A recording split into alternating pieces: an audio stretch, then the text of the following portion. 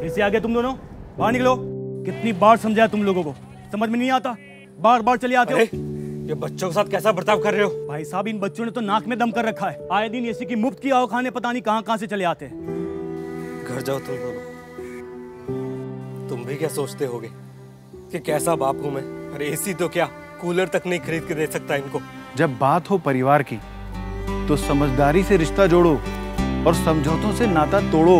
Home credit की मदद से तुम अपनी और अपने परिवार की सारी जरूरतें पूरी कर सकते हो। चाहे एसी हो या कूलर फ्रिज या मोबाइल करे अपनी और अपनों की ज़िंदगी हिट विथ होम क्रेडिट